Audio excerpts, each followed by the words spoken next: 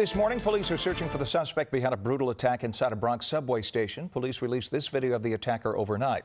He's accused of stabbing a 30 year old man in the face several times. It happened early Monday morning at the Cypress Avenue 6 train station. Police say the suspect stole the man's cell phone and ran off. The victim was left with serious injuries to his face.